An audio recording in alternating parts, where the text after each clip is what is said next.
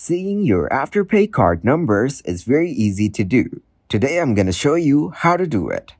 First of all, open up the web browser. After opening the web browser, search how to see Afterpay card details. Then scroll down and tap on how do I find my Afterpay card info. Now you can see the answer to this question. You can find these details in your wallet. Search wallet, then open, then select card. Tap the circle with the three dots for more. Then scroll down and it will show you more info. One that says device account number, and this should match up with the receipt. Hope that makes sense and helps.